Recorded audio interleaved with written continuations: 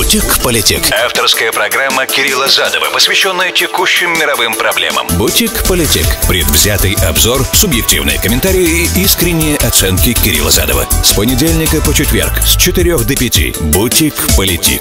Сказал, как обрезал. Приветствую, друзья, с вами Кирилл Задов, это Бутик Политик. Сегодня 2 ноября года 2022 Среда. 2 и 3, да, и поэтому немножко возникла проблема в голове как это, 2 ноября среда, должно быть 2 ноября вторник, но нет. Вот, поэтому сегодня среда, естественно. Будем говорить сегодня о нескольких вещах. Во-первых, о э, том, чему, о чем, чего добились американские, как бы, де, к чему привели американские действия и западноевропейские действия в попытках изолировать Россию и Китай, да, в попытках противостояния России и Китаю, э, разного оказания всяческого давления – есть определенные там интересные моменты, заодно про многополярность немножко поговорим, а то меня просят прокомментировать там некоторые моменты, высказывания. Да, наверное, пришло время развернуто как-то пытаться этот момент осветить. Это первое. Не очень долго будем об этом говорить, так же, как и э, информация, которая приходит из Херсона. Этого тоже коснемся, а эвакуации огромного количества людей уже, причем обязательной эвакуации. Э, что это может означать? Это важные вещи, поэтому давайте скажем о них вначале. А потом перейдем к израильской тематике, потому что есть новая информация – и опять же, все еще не окончательно, но все больше и больше бюллетеней считается, и все очевиднее, очевиднее картина победы правых. Это ставит интересные вопросы по к структуре коалиции и ее будущему, и как долго она будет существовать. Эти вопросы надо сейчас, наверное, произнести, для того, чтобы потом не было ничего удивительного в том, что часть их может реализоваться на практике. В общем, поговорим. Напоминаю, что вы можете мне писать 347-460-0877. Это смс-портал прямого эфира. Для всех, кто в прямом эфире меня слушает, не кроме Филадельфия, Application iHeart, Application Руис и радио, везде в нации. Все остальные, кто смотрит меня на YouTube, подписывайтесь при этом на канал. Добро пожаловать на канал, и там можно со мной коммуницировать, я там отвечаю на ваши коммент, вопросы, комментарии. А, пишите там, очень удобно. Кто на SoundCloud, ищите меня в Facebook, Twitter, задавайте ваши вопросы там, потому что, да, вы это смотрите или слушаете на YouTube или SoundCloud, это запись. Вот. В прямом эфире вы можете смотреть на ruisa.fm с 4 до 5, как вы уже знаете. Бутик-политик. Сказал, как обрезал. Ребят, вначале маленький анонс. Не успел в самом начале об этом сказать. Тут пришло уведомление о том, что Эфиопия, правительство Эфиопии и повстанцы Тигрея наконец договорились о прекращении огня. Вот это большое очень дело, но сегодня мы об этом вообще не будем говорить, потому что вы были в курсе, если вы еще не увидели этого. Это очень большое дело для безопасности всей Восточной Африки и Африканского рога. Завтра будем, скорее всего, об этом говорить. Маленький анонс. Если, конечно, а, информационное поле не напряжется совсем, потому что сегодня оно достаточно напряжено оказалось. Давайте начнем вот с чего. То, что мы упустили, долги надо отдавать. В мой день рождения, в пятницу, был телефонный звонок между One И, все еще пока министр национальных дел Китайской Народной Республики, и Сергеем Лавровым, министр национальных дел России.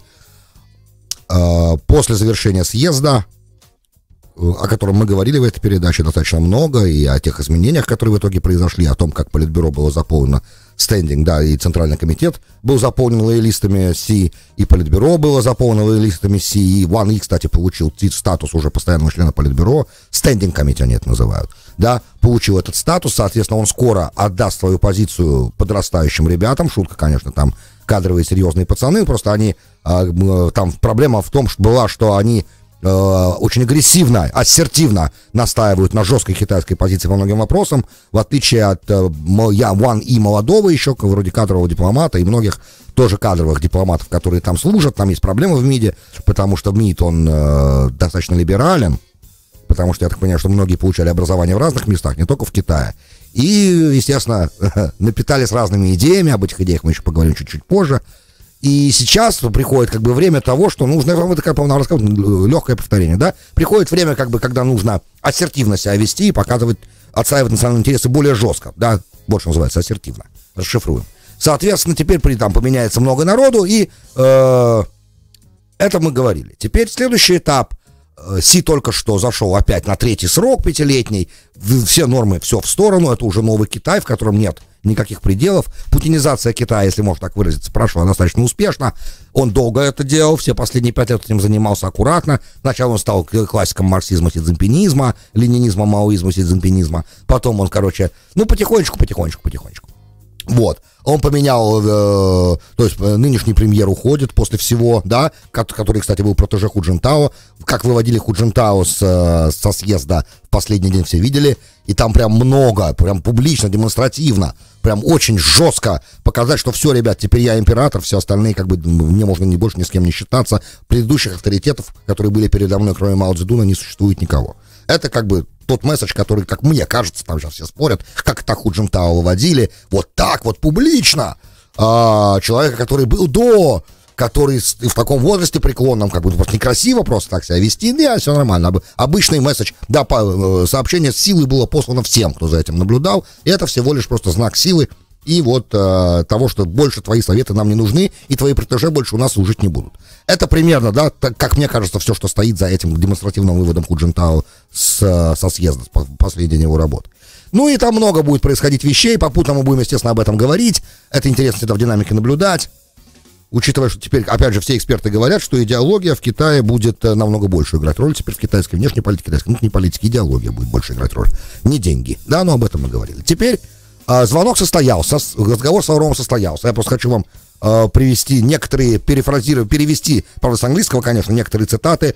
Э, дословно примерно, что Китай э, четко поддерживает усилия господина Путина объединить и вести русских людей, русский народ в преодолении трудностей и все дальше и дальше устанавливает государ... статус российского государства как э, главного, главной силы на международной сцене, как большой силы, да, честно скажем, major power, да, на международной сцене. Это сказал мистер Уанг, в ответ на это Лавров поздравил, естественно, господина Си с его э, невероятным успехом, и э, по, по завершении съезда Компартии в Пекине, вот, ну и там опять же много-много-много разных вещей происходило, но главное, как бы, что интересно, возникает, то есть, как бы такой, более-менее, из этого видно, что несмотря на то, что, да, несмотря, тут это важно сказать теперь, несмотря на то, что понятно, что э, есть определенные моменты, и в, в России, кстати, об этом давно говорят, что вот, Китай там...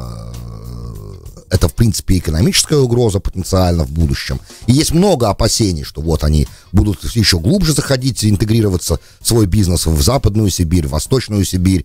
Короче, все, что за Уралом, с той стороны, учитывая еще то, что мало заселены эти регионы, то они туда будут и селиться. Но, опять же, на это всегда можно было ответить, что заселяясь туда, они же не забирают с собой землю, и российское суверенитет там никто не отменял. И это как бы малое опасение. Это как раз, оно есть, конечно, но оно не такое, как его рисуют э, националисты, да, ультраправые.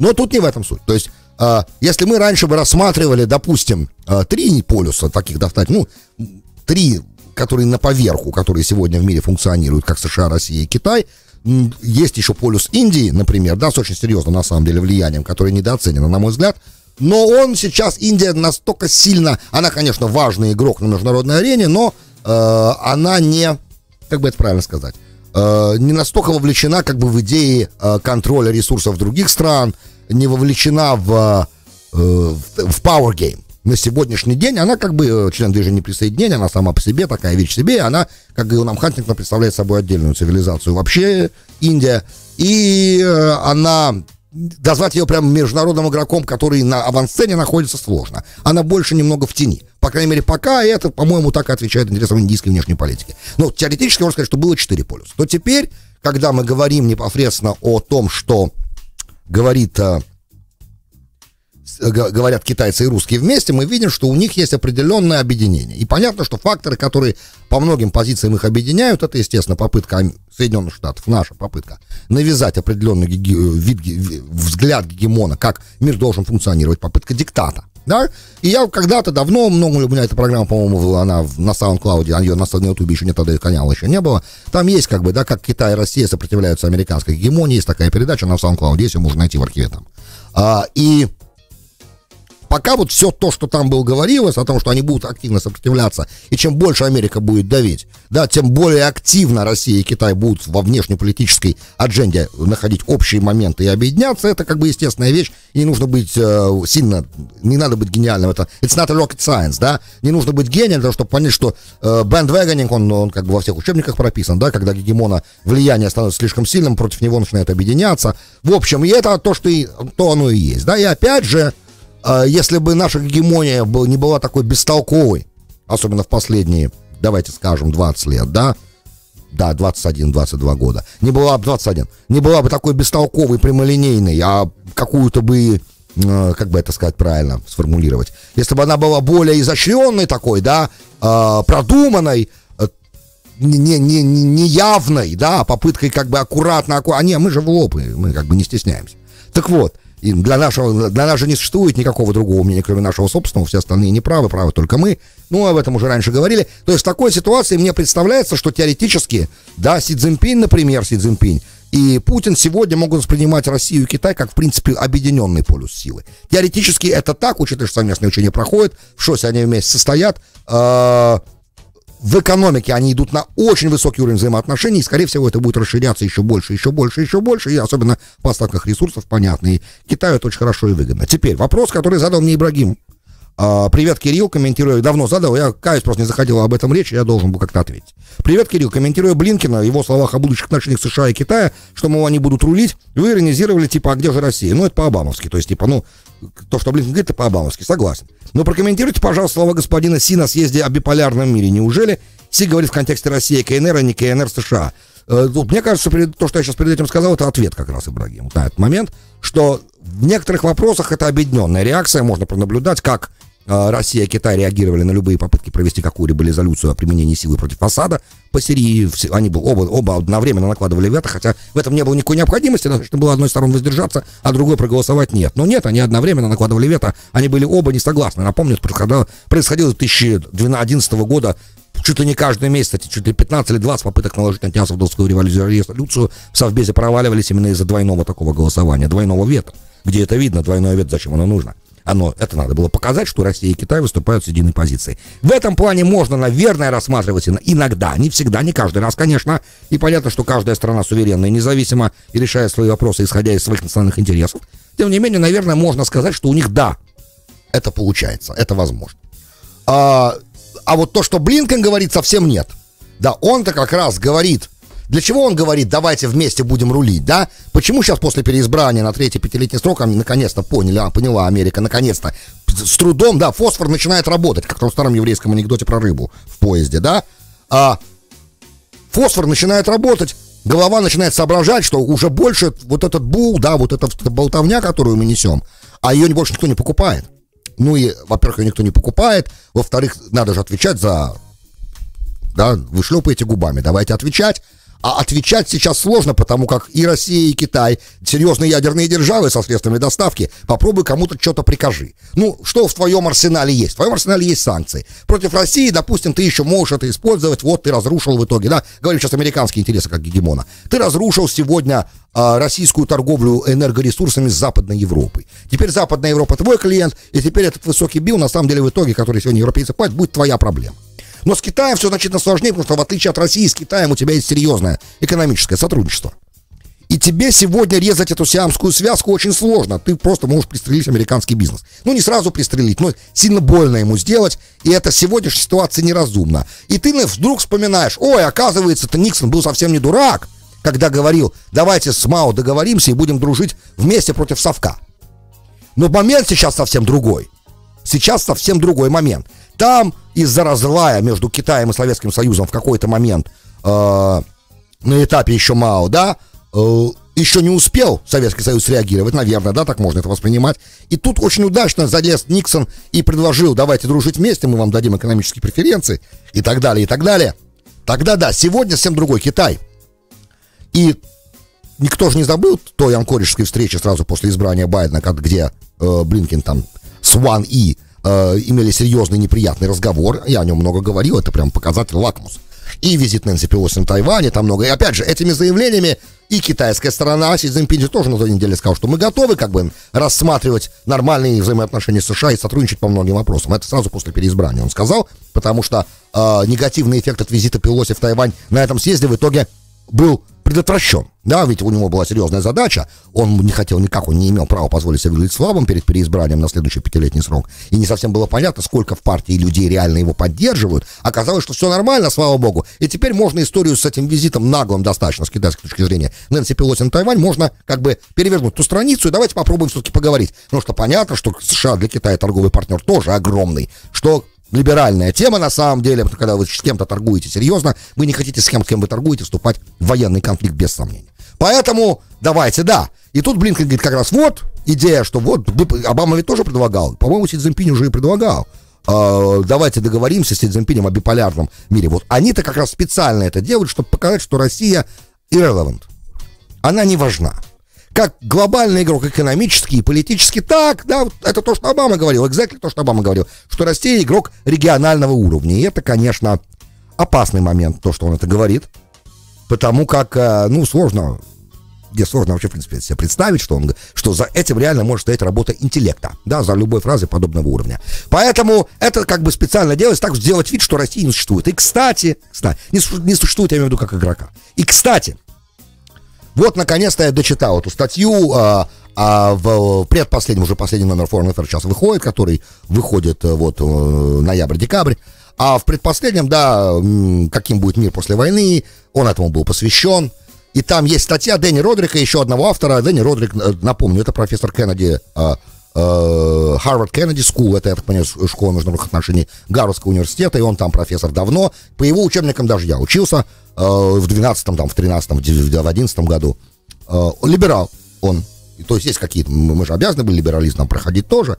Э, очень, ну, естественно, как любой профессор Харвард, Гарварда и Kennedy School, он, конечно же, интеллект серьезного, и там они там в, в коллаборации с другим профессором, имени уложил в голове, написали статью о том, как, каким должен выглядеть мир, чтобы в нем было меньше войн и меньше сопротивления. И, наконец-то, там прозвучали моменты, которые самые главные. Да? Понятно, что сами по себе идеи очень либеральные и, понятно, рассыплются при первой реалистской, как бы, серьезной угрозе.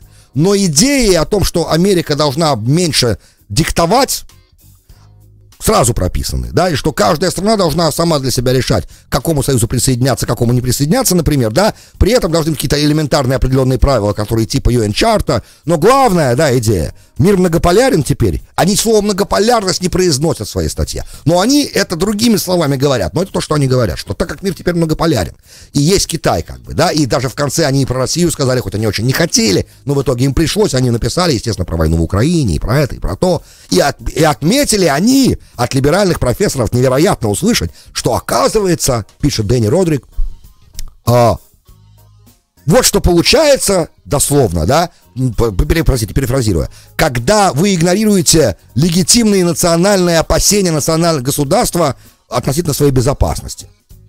Ну, либерализм же никогда не отменял безопасность, да. В либерализм это безопасность плюс кооперация, сводя его как бы к, на кончике вилки, подавая его, да, как блюдо, как израильтяне говорят.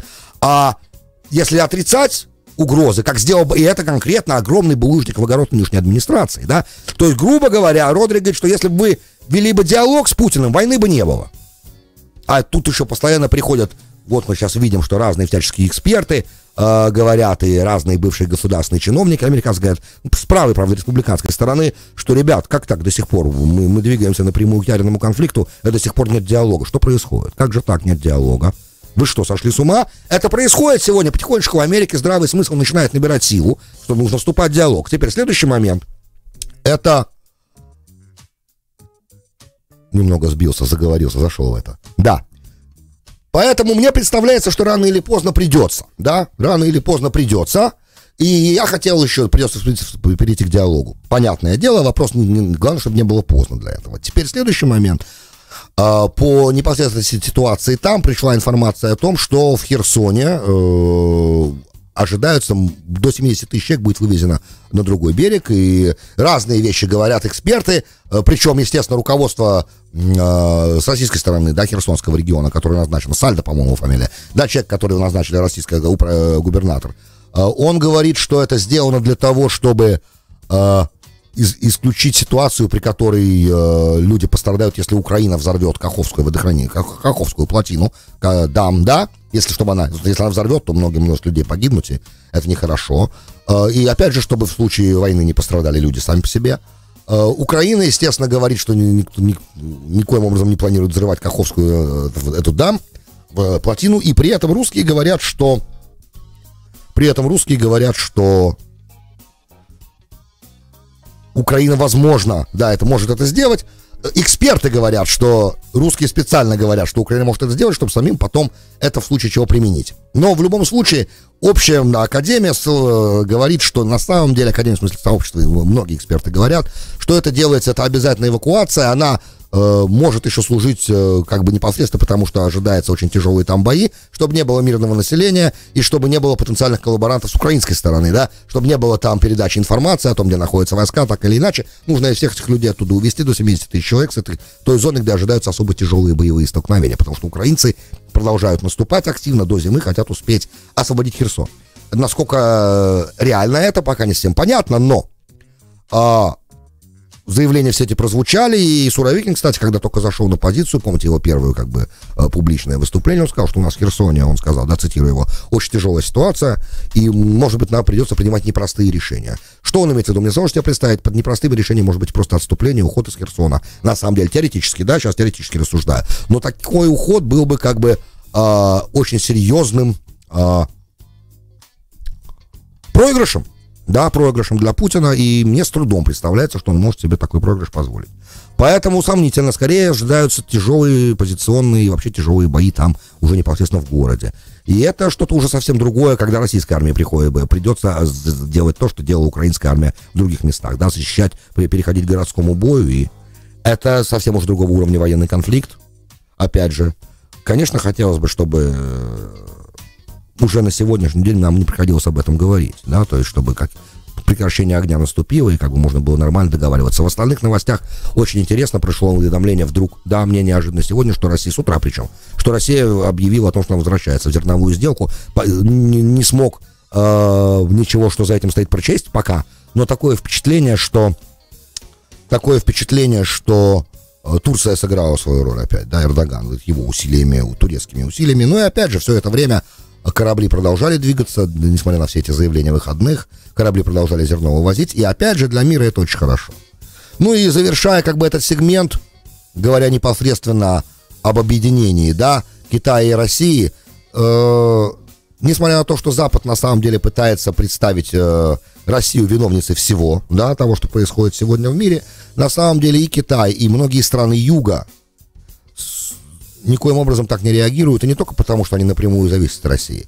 А, есть те, кто, да, зависит, есть те, кто нет, просто они немножко более... Сегодня мир намного больше, чем он был там, в 45-м году, чем он был в 55-м году, чем он был даже в 65-м году. Он совсем другой сегодня при, учитывая, что сегодня любая страна, которая имеет определенные рыночные преимущества, может быстро, быстро, быстро, быстро набирать силу, э, зарабатывать деньги, несмотря, опять же, на всю глобальную экономическую ситуацию. И совсем не обязательно для этого, есть определенные механизмы, совсем не обязательно для этого дружить с Америкой, да.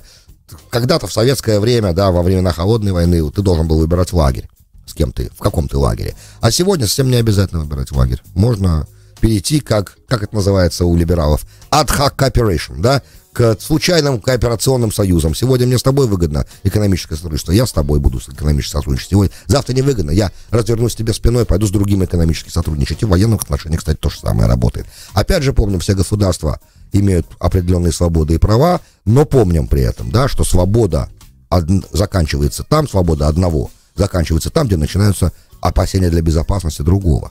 Так называемая концепция неделимости безопасности. Это нужно понимать тоже. От никуда не ушел. Бутик-политик. Сказал, как обрезал.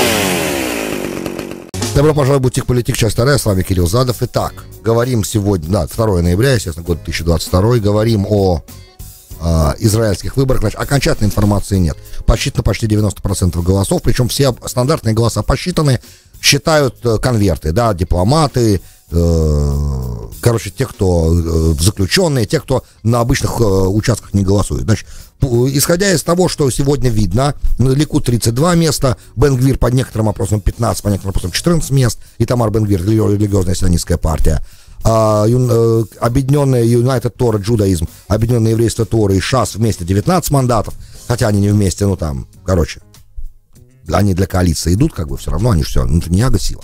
Короче, получается, что по сегодняшнему результату, пока, да, у Нетаньяго 65 мандатов коалиции, который потенциально его натуральная коалиция, если считать, что а, религиозная сионистская партия как бы становится автоматически членом такой коалиции, на что как бы все пока намекает. И у меня как бы внутри меня сейчас когнитивный диссонанс. С одной стороны, мои победили, да, АЦМА, и это победа огромная для любого человека, который э, разделяет поселенческую идеологию.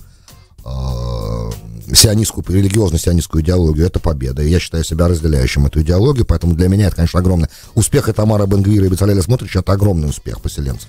Теперь я представляю, с другой стороны, это сердце, да, сердце кричит «Ацма, ацма».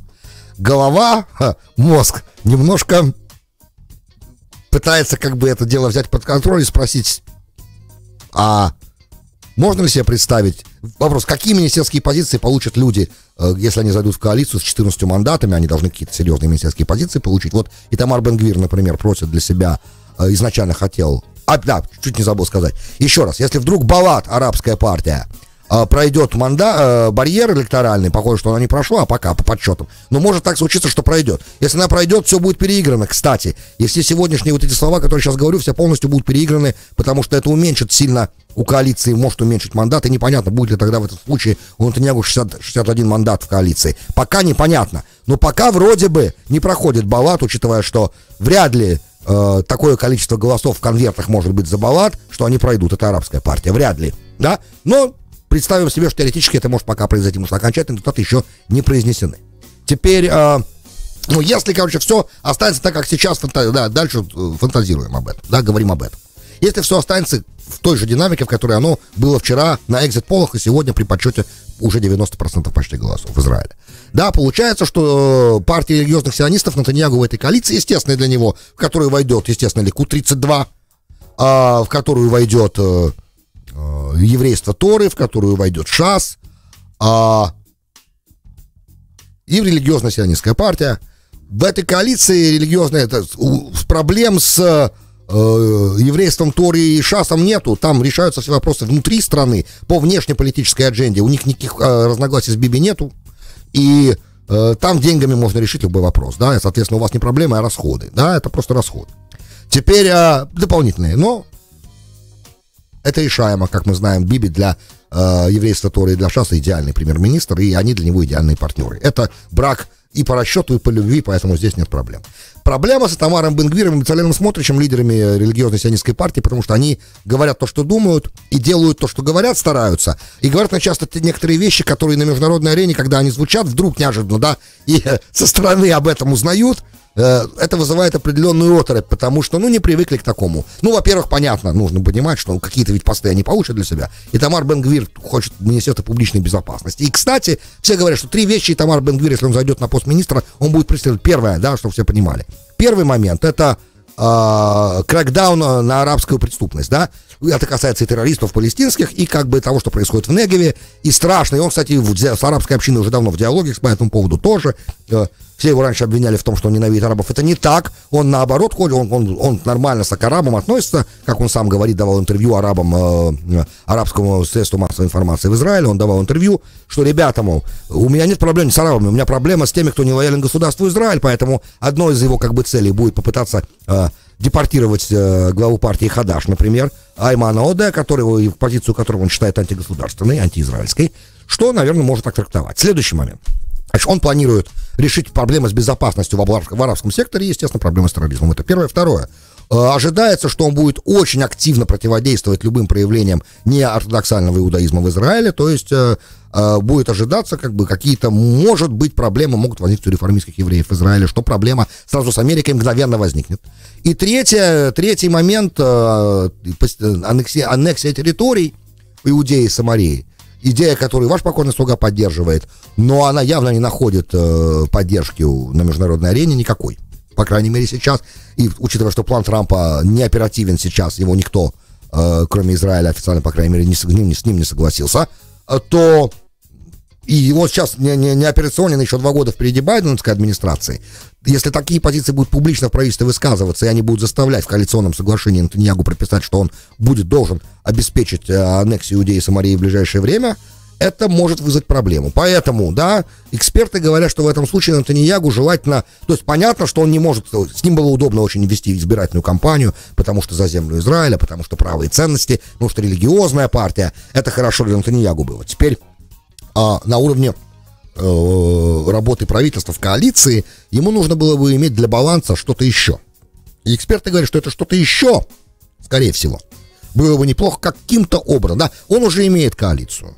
И когда он уже имеет коалицию, э, кингмейкеров уже больше нет тогда, получается. Если он уже премьер-министр, то он может спокойно теперь прийти к Бенни Гансу, с которым он уже раньше работал, а министр обороны, кстати, ему нужен. И я, честно говоря, не вижу на этой позиции Бецалеля Смотрича, при всем к нему уважении. А, хотя, опять же, учитывая, что Министерство обороны сегодня вне аннексированной Иудеи и Самарии а, является главным, как бы, а, органом власти, который регулирует жизнь евреев а, и арабов там проживающих, а, ну, а, помимо палестинской автономии для арабов, конечно, да, на евреев, как бы и регулирует там разные административные вопросы, и все, что происходит в Иудее и Самарии, регулируется актами Министерства обороны, то такую позицию Бесалель Смотрич мог бы для себя попросить, например. То есть в плане обеспечения э, улучшения условий жизни поселенцев, я это понимаю. В плане обороны государства мне сложно это себе представить, но теоретически это возможно. Но мне кажется, и я думаю, что не только мне кажется, что Бенни Ганс был бы лучшим министром обороны, и он бы мог бы зайти со своими 12 мандатами и немножечко э, сбалансировать экстремистскую, не экстремистскую, экстремальную, простите, позицию Бенгвира. Сейчас я говорю с позиции как международного сообщества, например, да, с которым Израиль хочет продолжать поддерживать нормальные отношения. В общем, впереди очень интересная игра. Э, Бенгвир говорит, что коалиционные переговоры будут очень быстрыми, и смотришь, они это говорят. Будем надеяться, что это так, и все очень быстро разрешится. Ну, а кто там дальше захочет коалиции присоединиться, добро пожаловать. Вопрос, как бы, чтобы это скорее произошло, и, может быть, наконец-то Израиль получит нормальное, стабильное правое правительство. Наконец-то, ура! Всех поздравляю. По крайней мере, на сегодняшний день. Спасибо, друзья. С вами был Кирилл Задов и слушали «Бутик Политик». До встречи завтра. «Бутик Политик». Сказал, как обрезал.